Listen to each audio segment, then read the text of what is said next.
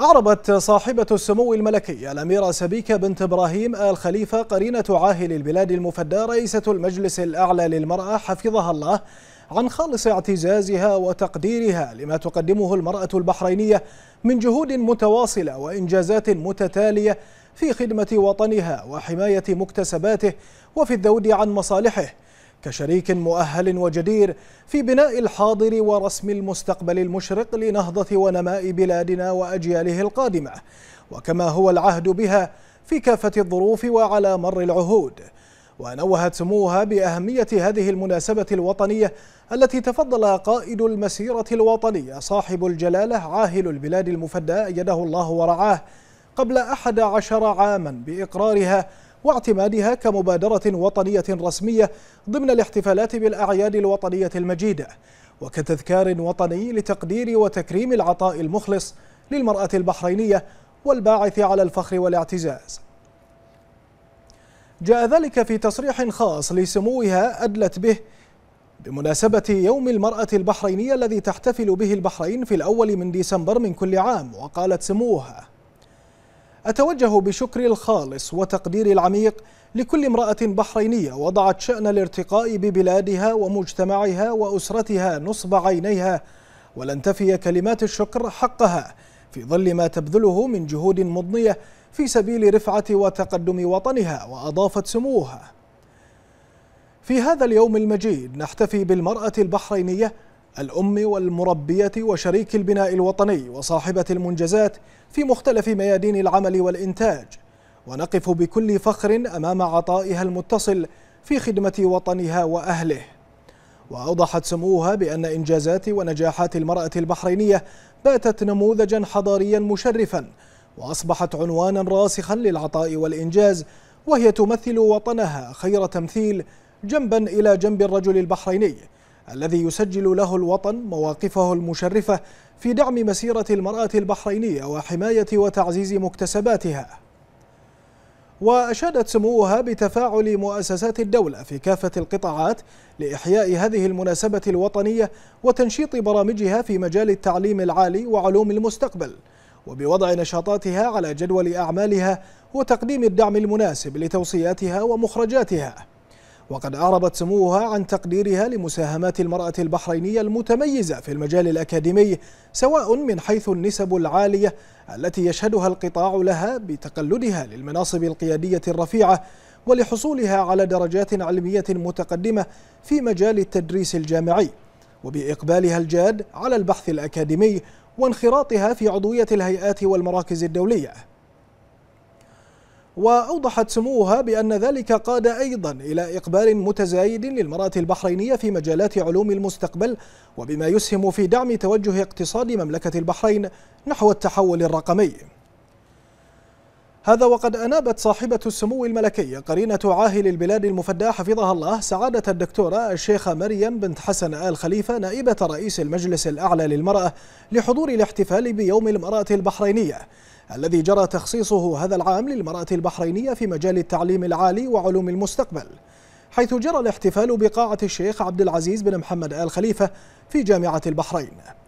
وخلال الحفل ألقى سعادة الأستاذ الدكتور رياض بن يوسف حمزة رئيس جامعة البحرين كلمة ترحيبية أكد خلالها تشرف الجامعة باستضافة احتفال يوم يوم المرأة البحرينية لهذا العام برعاية صاحبة السمو الملكي قرينة عاهل البلاد المفدى لحفل يوم المرأة البحرينية. مشيرا إلى أن اختيار موضوع التعليم العالي وعلوم المستقبل كشعار يدعم خطة الجامعة التطويرية 2016-2021 التي وضعت علوم المستقبل نصب عينيها وتعمل جاهدة مع شركائها الوطنيين والعالميين لتكون مملكة البحرين رائدة في علوم المستقبل التي باتت محط الاهتمام العالمي وميدان المنافسة وعنوان التقدم. موضحا أن نسبة الأكاديميات في جامعة البحرين بلغت 41.5% من إجمالي الأكاديميين فيما تجاوزت نسبة الطالبات 65% من إجمالي الطلبة. بعد ذلك تفضلت الدكتورة الشيخة مريم بنت حسن آل خليفة نائبة رئيس المجلس الأعلى للمرأة بالنيابة عن صاحبة السمو الملكي رئيسة المجلس حفظها الله بتكريم الرائدات في مجال العمل الأكاديمي كأوائل الحاصلات على المناصب القيادية وأوائل الحاملات للدرجات الأكاديمية. كما تم خلال الحفل عرض فيلم توثيقي قصير بعنوان المرأة البحرينية والتعليم إشراقات مبكرة وريادة وطنية كما تم عرض إيجاز مرئي لأهم مخرجات يوم المرأة البحرينية لهذا العام.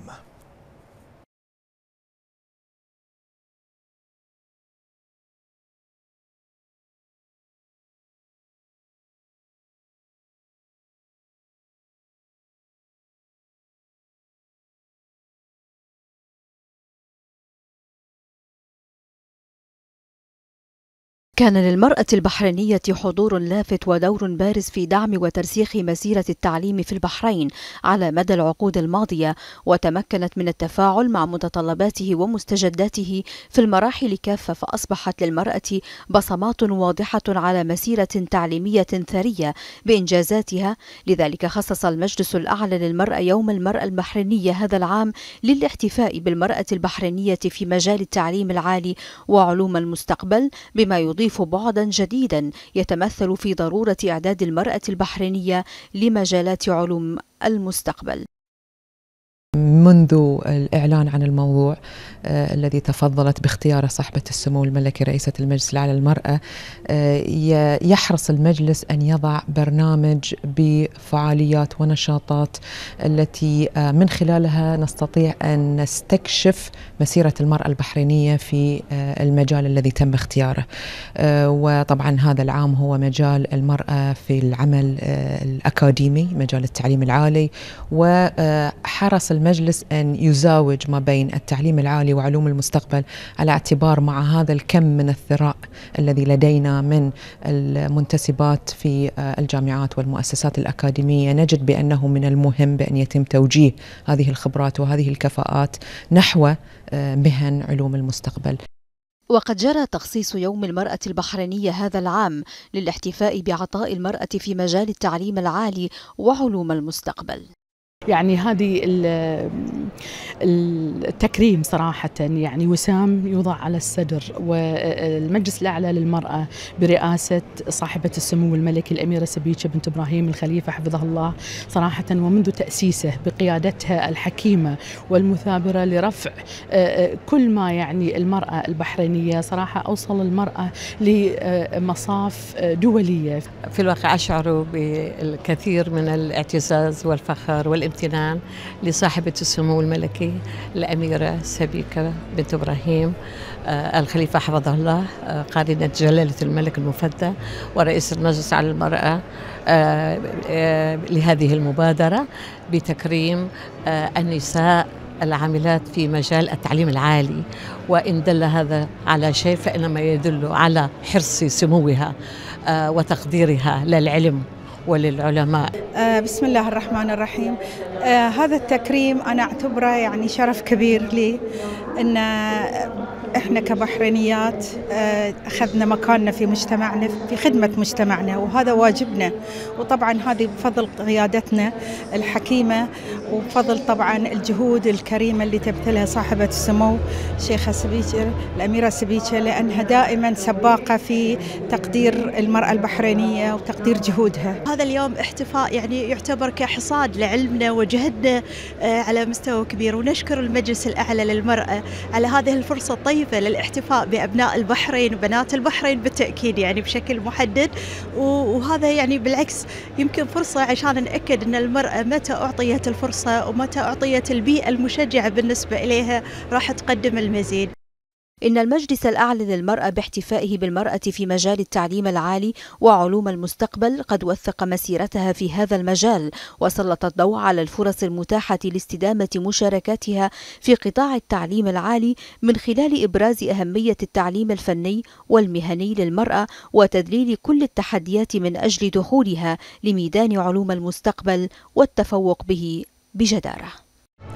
إن اختيار المجلس الأعلى للمرأة للاحتفاء بيوم المرأة البحرينية في مجال التعليم العالي وعلوم المستقبل جاء بهدف تسليط الضوء على ما وصلت إليه المرأة في هذا المجال تحديدا ومن جهة أخرى توحيد الجهود المستقبلية لدعمها ودفعها بشكل أكبر وأوسع نحو علوم المستقبل. سهر عصفور لمركز الأخبار تلفزيون البحرين.